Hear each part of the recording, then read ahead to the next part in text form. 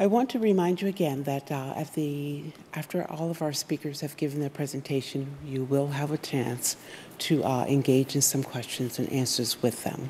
So um, just hang tight, because I know you have lots of questions by now. Our next speaker is Stephanie Fryberg. Dr. Fryberg is a member of the Tulalip tribes of Washington State. She is the William and Ruth Gerberding University Professor of Psychology and American Indian Studies at the University of Washington. As a social and cultural psychologist, Dr. Fryberg's research explores the ways in which the social world systematically influences how people understand themselves and their actions, and ultimately how they shape important life outcomes such as education attainment, attainment, and health. Her presentation, Reclaiming Native Truths How the Psychology of Omission Fuels a Cycle of Bias Against Native Americans. Dr. Fryberg's presentation will take a critical look at how K through 12 social studies state mandated content standards include or erase indigenous people and native nations from the telling of U.S. history and civics as well as highlight how some states and organizations are working to address these curricular problems. Let's welcome to the podium Dr. Fryberg.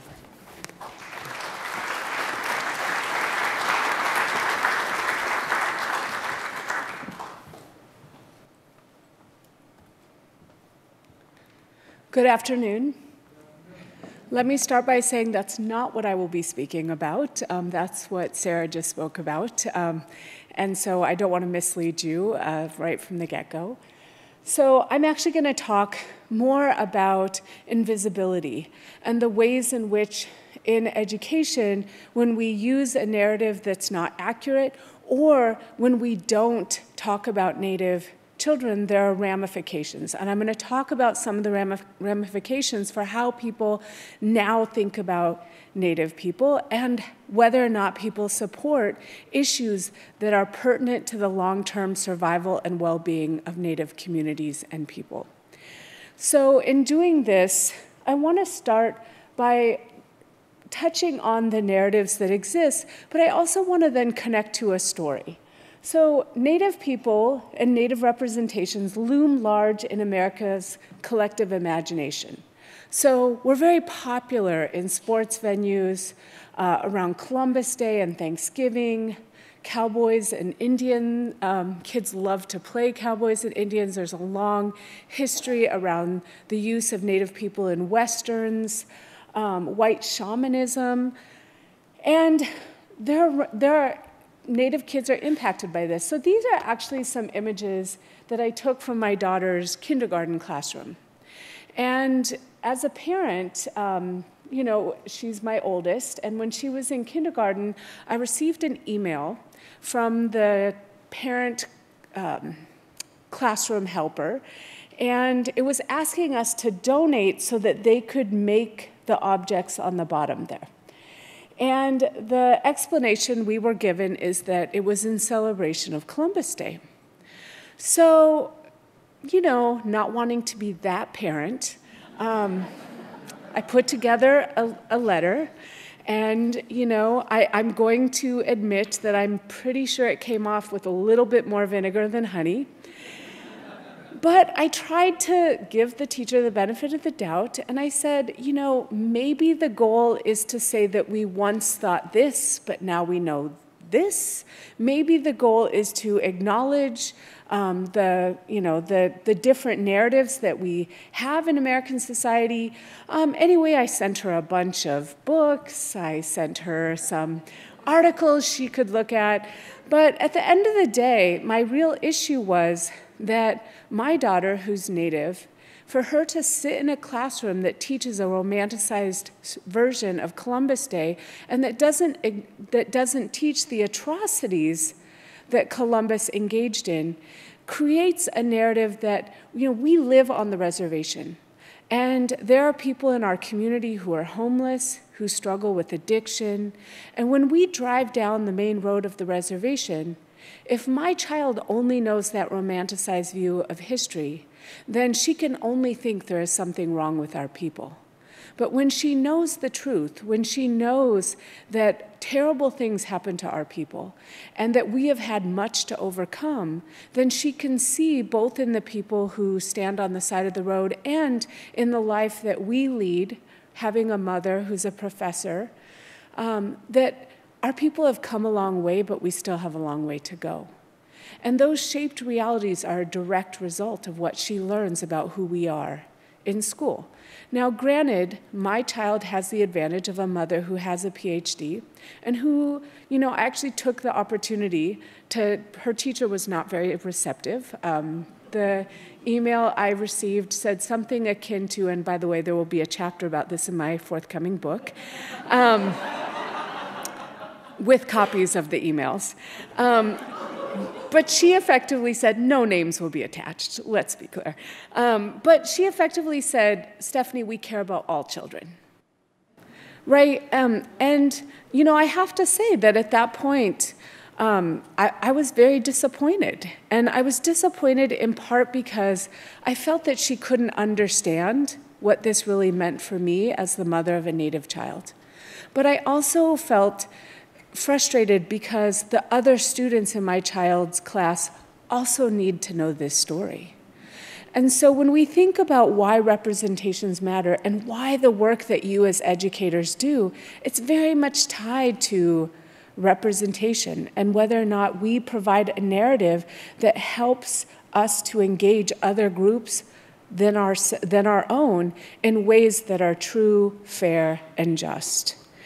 And so I want to start by saying not only do we know that these representations have ramifications, in my own research team has examined the effect of various representations like Pocahontas, the mascot issue, a variety of negative stereotypes on Native students, um, mostly middle school and high school students. And what we find across all studies is that compared to being exposed to nothing, these representations lower self esteem, they lower kids' sense of community worth, which is in essence a sense that their community has the power and resources to enhance itself. Um, it lowers their achievement related aspirations or goals. And I want you to just notice here, let me see if this. Uh, right here, this is the control condition.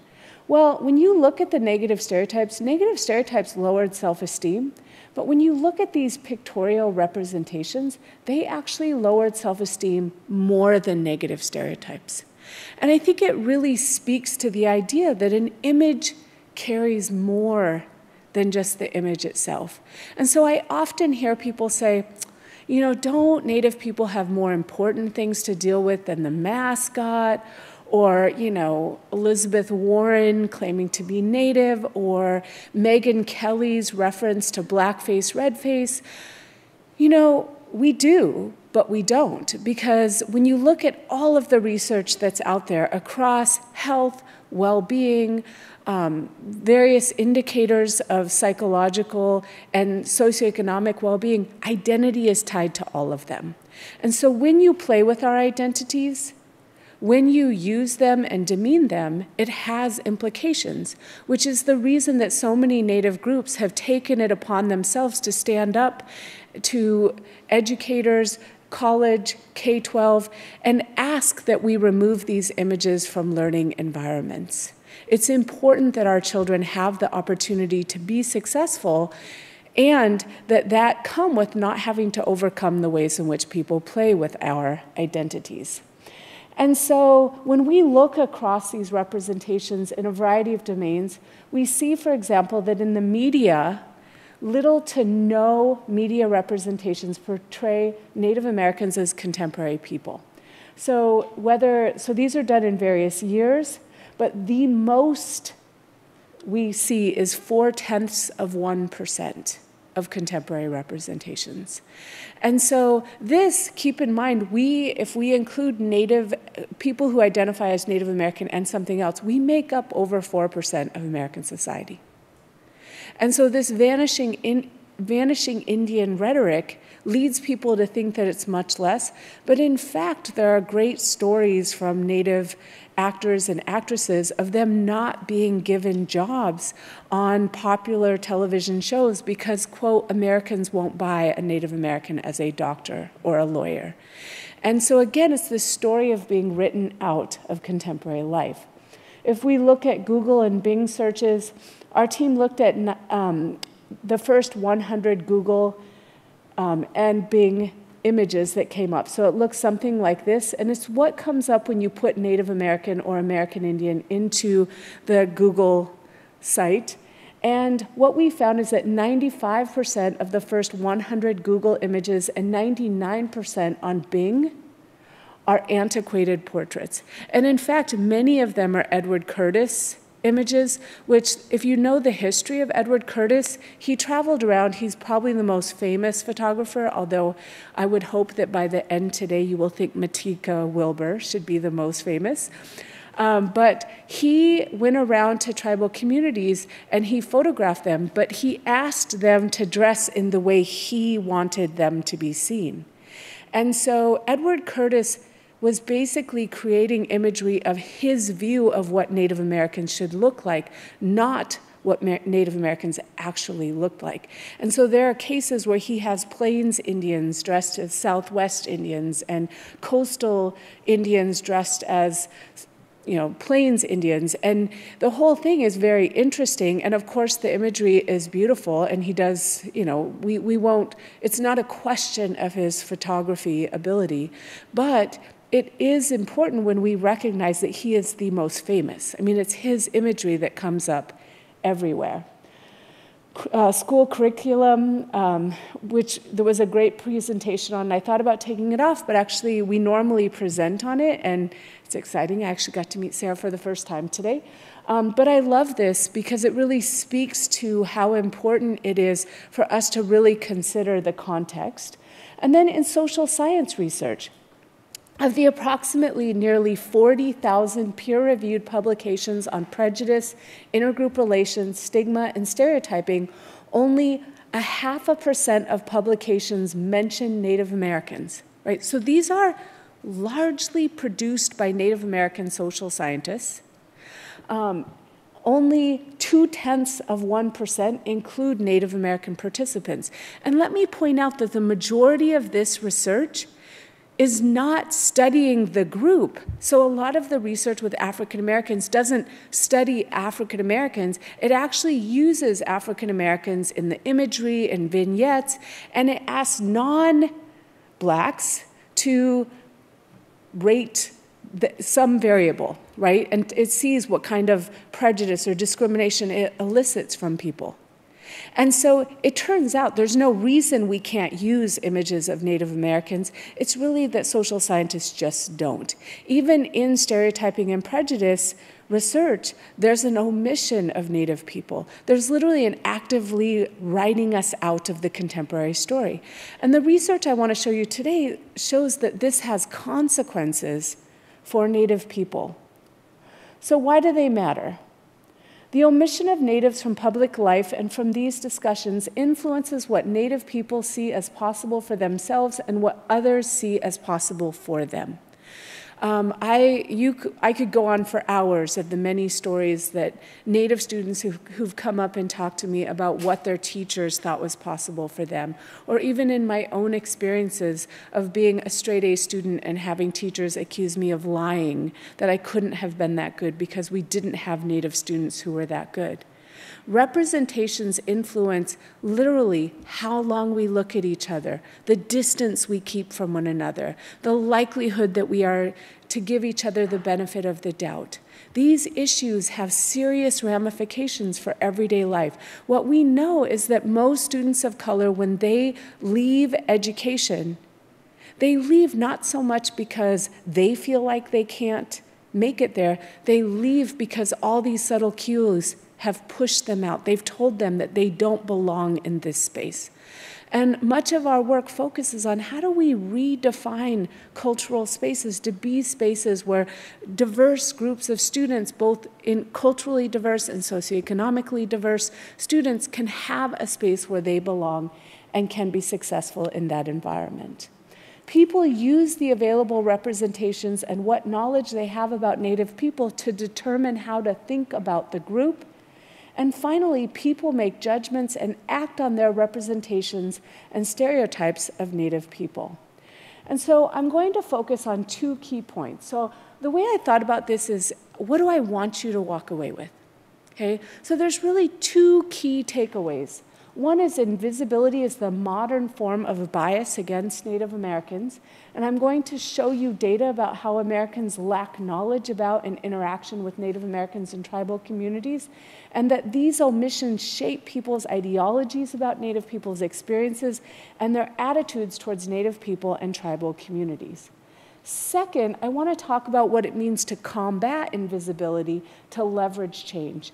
And that when I talk about using messages to shape perceptions, these are messages that I hope you as educators will take home with you and really recognize the importance of as you think to reshape the curriculum that you do use or as you develop new curriculum, to really think about the power behind the message that you use. So, starting off with lacking knowledge. So, we did two large national studies. The first study was with uh, st college students from 12 different universities. We have about 5,000 students. I emailed a bunch of my colleagues around the country and said there's a tremendous lack of knowledge about bias against Native people. Would you help us? Everyone said yes. So, in this, what's interesting, the other one is a group of adults. But in, if you start by looking here, we got together and we came up with the 10 most common historical and contemporary ideas that you might know about Native people. So, on average, among our 5,000 college students, let's keep in mind that these are students who got into top universities in this country. They could, on average, answer 12% they got 12% correct for historical and about 24% correct for contemporary. Now, these were multiple choice questions, but if you're a statistics person, they could literally randomly pick and do as well as they actually did. So, if we look at the other side, so for the national sample, we actually made the test easier so we gave the same questions but made them true or false. So let's keep in mind now you have a 50 50% chance just by guessing, and people did worse than chance. So when it came to historical, people knew got just over 40% correct, and when it came to contemporary, about 30% correct. So this is the knowledge people walk away with, right? These are adults who are functioning. There are 9,000 people represented in these two studies. Now, why this is important, right? Of course, having knowledge matters, but let me show you how else it matters. So, hold on to that point. It also is the case that the majority of people have never met a Native person across both samples. So, if you look, these are the percent who say they've never had a native, close native friend. They don't have native family members. They don't have any native acquaintances.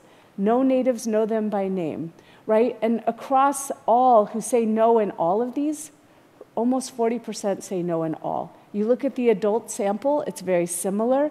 But now, right? Our representation in your mind, you should be thinking it's because natives live on reservations. I mean, how would we have contact? Less than 40% of Native Americans in the US actually live on reservations. The rest live in cities, in communities, in towns. They're at universities. They're lawyers and doctors and professionals. So this is really important, and here's how I'll start to show you why. Okay, so 71.7% of people rarely or never encounter or seek out information about Native Americans. And part of what happens is we simply don't come to mind. Now, when we then say, how does this shape people's thinking? Well, accurate knowledge about Native Americans, so how much knowledge you get correct, predicts the, the, your likelihood of acknowledging that Native Americans face racism and discrimination, and your belief that the world is unfair. Knowledge of famous contemporary Native people, not historical people. That the number of contemporary Native people that individuals could cite was related to the same thing the acknowledgement that Native Americans face racism and discrimination, and belief that the world is unfair. Now, this matters because we take this even further and we show that your belief that natives face racism is tied to how warm you feel towards Native Americans and how much you humanize them. So if you look over here at the bottom, when we believe that natives do not face racism, and keep in mind, we're largely omitted from discussions of racism and discrimination in this country. Well, when I don't know that Native people face racism, I feel less warm towards them and I humanize them less. So, and when you look at these rates, it's literally like seeing natives as being about 62% human. And so the rates are higher if we know that they face racism. So, in essence, what we're seeing is that when we know Native people face racism, we feel warmer towards them, we humanize them more, and we then look at whether these variables relate to people's support for issues that affect Native people's everyday life. Protecting sovereignty rights, anti mascot, acknowledging accurate information about Native people. So we had a question about should US school systems teach students about the genocide experienced by Native Americans? So it was more accurate information. There's a variety of items in each of these. And then material and equity concerns, right? So reduce poverty, these types. Well, it turns out that when we believe that natives, when we know that native people face racism, not only do we feel warmer, but right here, natives face racism, we have greater support for policies that support the well being of native people. We're more likely to support tribal sovereignty um, which, by the way, is what allows us to be nations within nations. Right? Sovereignty isn't just sovereignty, as President Bush says. Sovereignty is literally the things that allows us to be tribes in this country, that maintains our separation of our communities, our ways of life from mainstream society. So we have a nation to nation relationship. We are a nation nested within a larger nation. And so our well being, right, because we are nested now within this country, our well being depends on our neighbors. So, how people think about us, what the national narrative is, literally impacts everyday life for our people. So, similarly, belief that the world is fair. When we believe that the world is fair, right? What we see is that we, are, we see less warmth towards Native people. There's no connection to humanizing Native people. Similarly, however, belief that the world is fair is related to support for right? So when we think the world is fair, we don't feel a lot of support for Native people. When we acknowledge that the world is unfair, we see greater support for all of these issues. Okay, so what about combating invisibility to leverage change? So, what we did is we started out, and I'm only going to talk about three of the messages that we used, but we provided information, including statistics, to support each of the messages. Information about disparities, which really was, in essence, our control condition because it's one of the things that people knew a lot about. But then we wanted to change it, right? So then we have information about systemic oppression. Now, what's interesting about systemic oppression is that, in essence, systemic oppression takes responsibility away from individuals and locates it in individuals. But this is important for you to know because what we know in the stereotyping and prejudice literature is that when we make people feel threat, when we make people feel bad about themselves, they stop learning and they find it harder to have empathy, right? Because now I need to protect myself as opposed to attending to this other group. And so, as you think about how you teach about these groups, it's really important to think about how you present the material.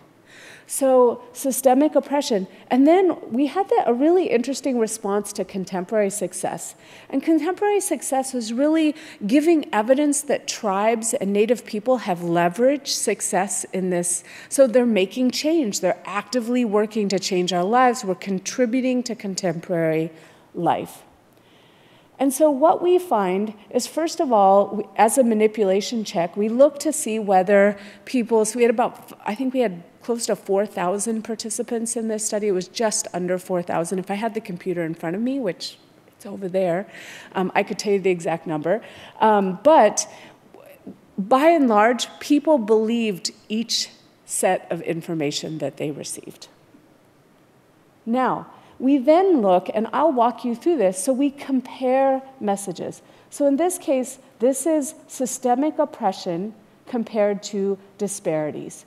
And so what you see is that systemic oppression messages increased belief and is associated positively with the belief that natives face racism more than disparities. Okay?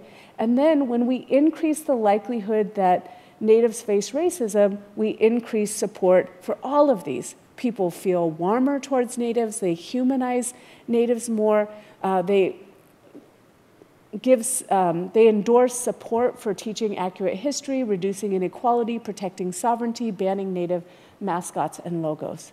So this systemic oppression is much better than teaching about disparities. And in fact, we've gone on to study disparities in a variety of, of um, studies. Teaching about disparities makes non-natives feel threat.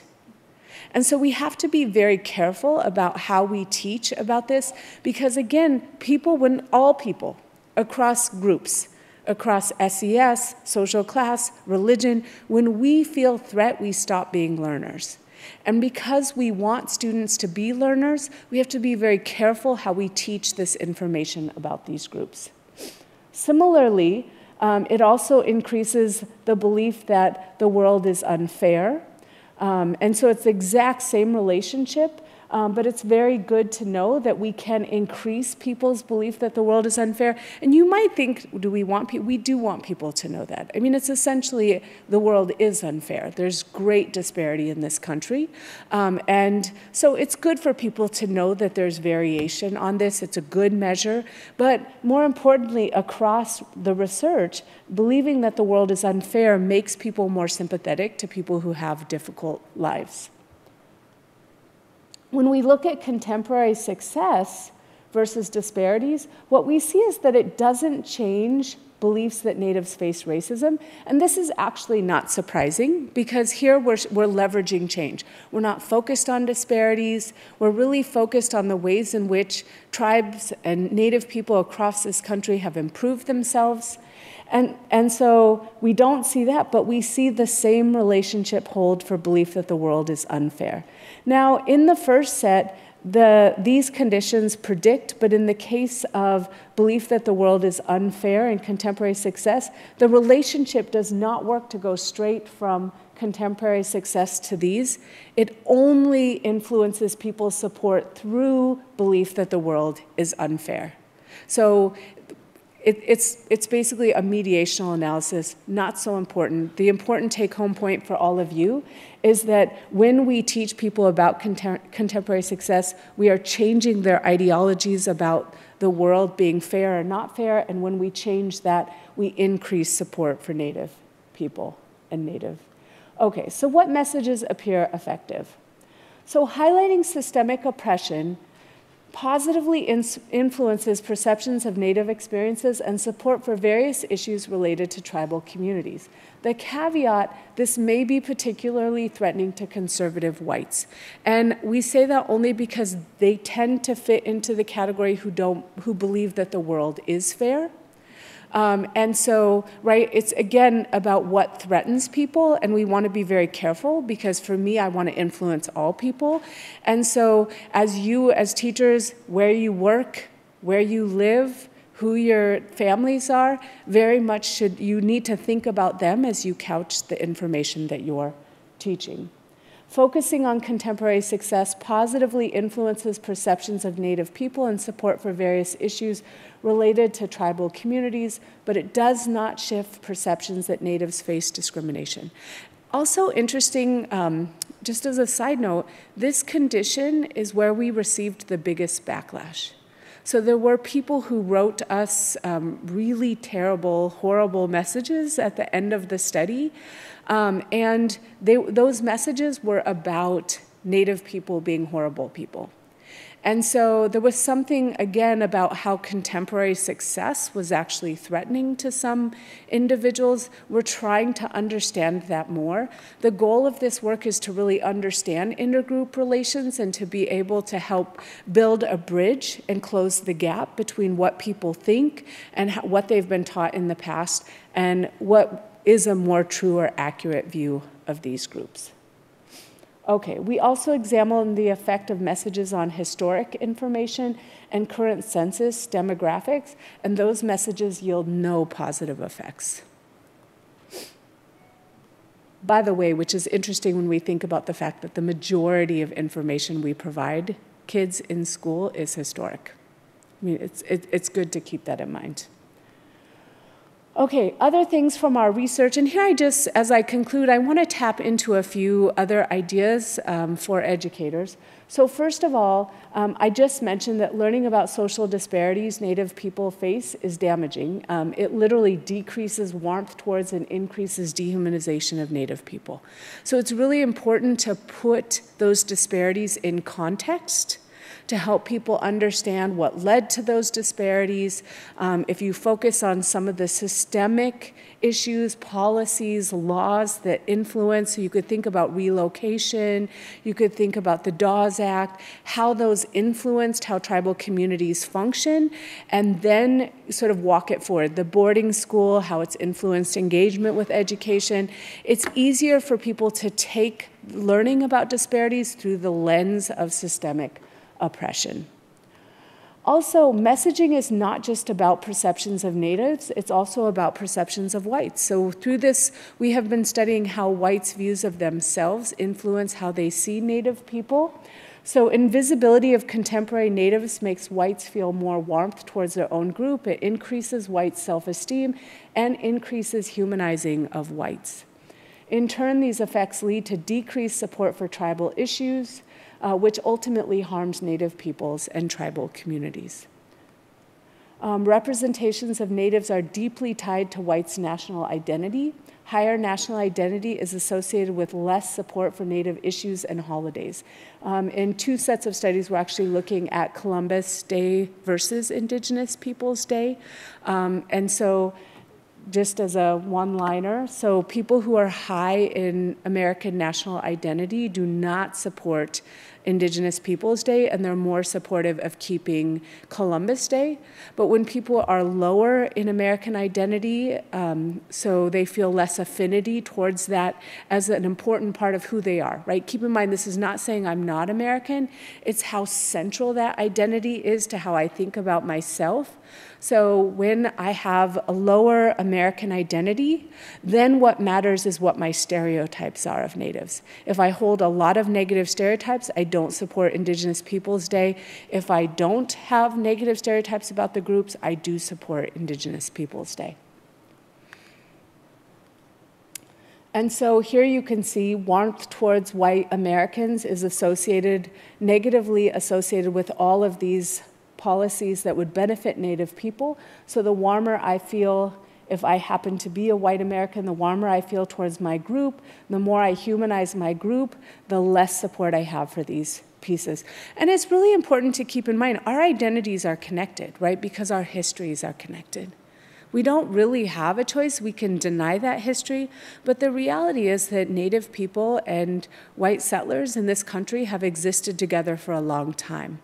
And so, to the extent that the romanticized narrative allows me, as a, if I happen to be a white person, to feel better about my group, I have some need to hold on to that. And it's similar in the mascot debate. We see that whites, for example, have higher self esteem when exposed to the Indian mascot. They like other white people who wear Indian mascot regalia. And there are no social consequences for whites when they engage in these behaviors. That's really important, right? It's important to know that we're caught up in systems and that there are very different outcomes connected to these representations. One, it means something to be the target versus the observer of these representations. And so I want to conclude with some key takeaways. The modern form of bias against Native Americans is the omission of contemporary ideas and representations that reflect the ways in which Native people contribute to society. Social change requires infusing the broader cultural context with more accurate contemporary ideas and representations. We did a study where we went into an elementary school and we coded every image that was on the walls of teachers' classrooms. And it turned out that the number of positive and contemporary representations was correlated with, it was related to how much the Native elementary school kids in that school thought their teachers liked them and wanted them to be successful. Native people and communities are leveraging this change, but the omission is that many people do not see, choose not to see what is right in front of them. Native individuals and communities must impose who we are and force the world to deal with us, not with its idea of us. And I just want to end by showing you a few images from Matika Wilbur. Uh, Matika is um, Swinomish and Tulalip. Um, so I, I, know the Tulalip because we're shared. It, she's from my tribe too. Um, but what I love about Matika's work is it really is about taking the idea of contemporary representation and showing people that not only are we here today, but we're doing today the way we want to do it. And so she's showing us as both a reflection of an engagement with contemporary societies, but how we have chosen to be Native people in contemporary society.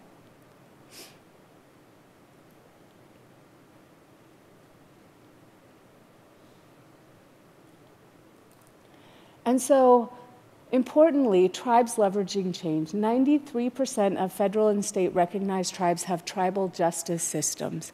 That requires legal codes. I mean, they're extremely complex systems, and it's important for people to recognize that as tribes do this work, there it requires a very high level of, of how their communities are organized and put together.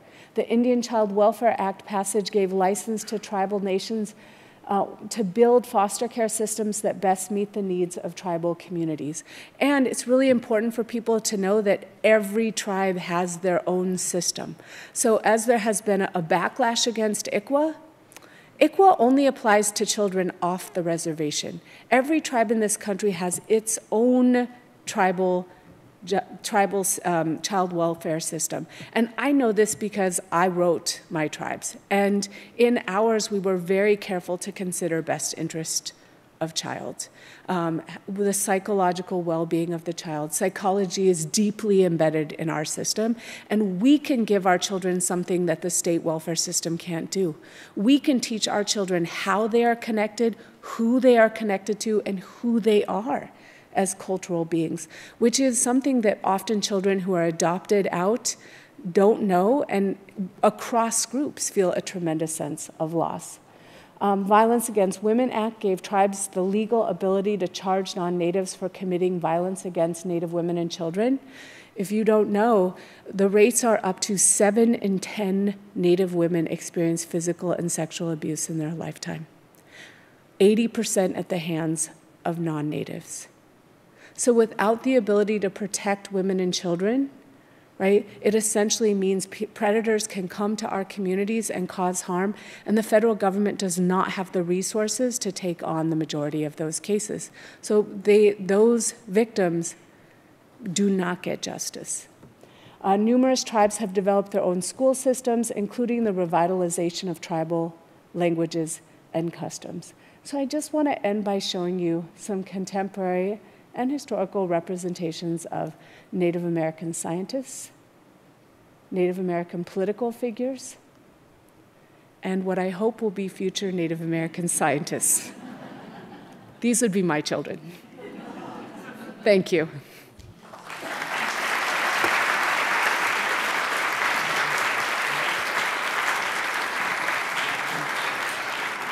Thank you, Dr. Fryberg.